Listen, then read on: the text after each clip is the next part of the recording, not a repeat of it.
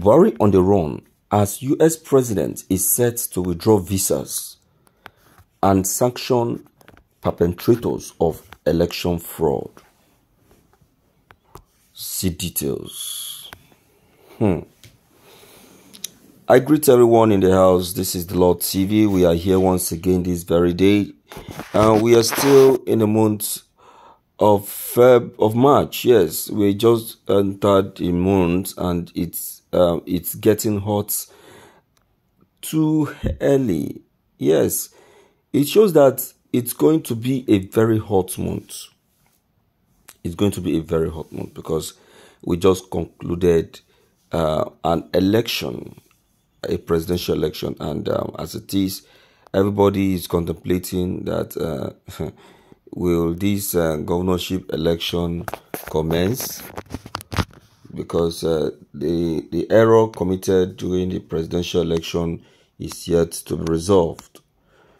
So they are contemplating: is it not better we shift this um, governorship election in order to find a a resolve for the presidential election? Because um, as it is, it is now becoming um, an international matters.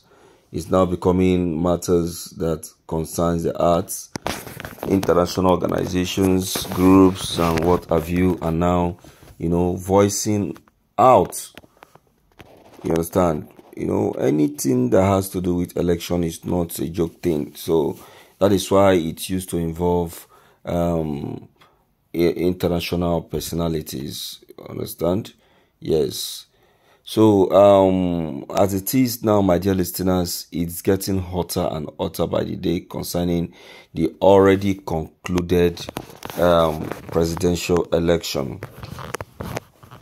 Why um, other countries are taking move to um, to ban some of these fraudulent ministers that encouraged the uh, encourage election fraud Joe Biden also has also um, seeked the advice and also gotten advice from international communities like uh, SERAP to fast track the visa ban of some of these ministers as well. Okay? Yes. Because after this, the next thing they will do is to run, to escape so that shouldn't, uh, they should not, they should be denied of that very opportunity. That is what um, he's trying to say. Hmm. Toridon Tarapa. Okay, uh, my people, let's check the contents and know what uh, is actually cooking up. This is morning news.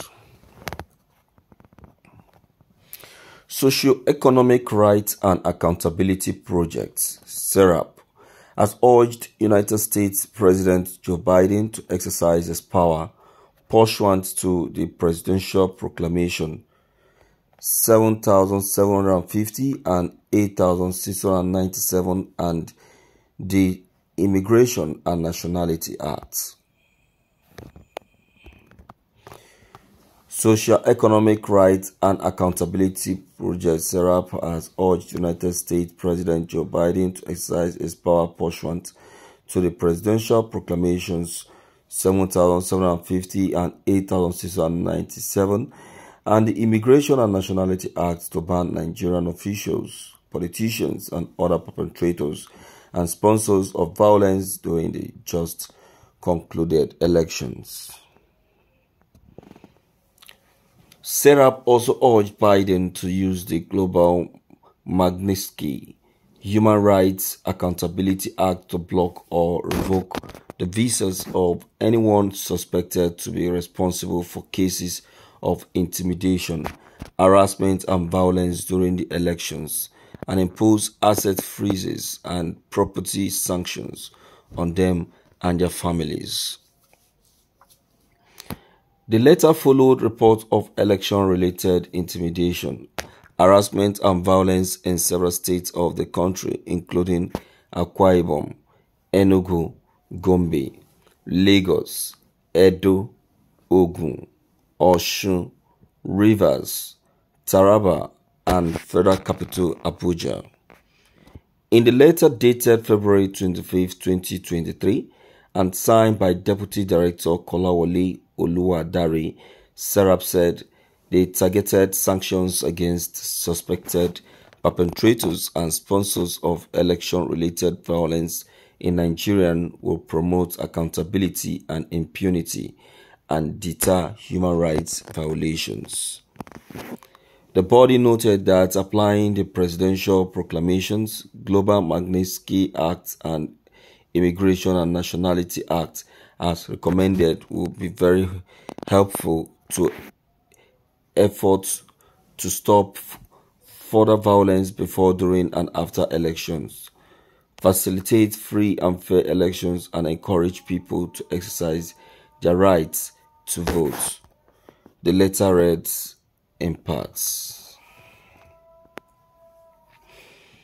Wow, visa ban, visa ban, visa ban, withdrawal, sanctioning, and what have you. Yes, I think um, that is um, a very good way of punishing these uh, ministers.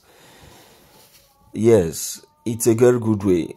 Most especially this INEC chairman. If that has been quickly been done to him, I don't think he would have taken this move that he took by flying out of the country immediately he uh, pronounced the winner of the election. That is, uh, you can you can now say it shows that there is no um, truth in what he has just done. You understand? Yes, that's what I feel. Show that there is no truth. How can you just call an election and you uh, and, and uh, how can you just make pronouncement of of a winner and you escape out of the country? It shows that what you've done, you're not sure of what you've done. You did it probably out of fear. You understand? Probably out of fear. And now, since then, everybody has been saying it, even the international observers, that the election conducted by INEC is not transparent enough. It's not transparent enough. So, as INEC chairman, you're supposed to be in the country, at least to help collate people's opinions, people complaints, work with it, and see how quickly it can be used to fast track results. You understand now? Now look at every the, the whole thing is just pending because of the of of the attitude you have put up to this. You know, I don't care attitude. You know, consign me. I don't do my own work. That is what you're trying to say. You see that? See how it's affecting everybody. Absolutely everybody. All right. My people, you've heard it already. And that is how it is. Okay? So please don't forget your comments, your ideas, they are still very much of great importance. Don't forget to leave them below the comment section. Click on the subscription buttons as well as the bell buttons to get updated each time we upload any new videos. Thank you.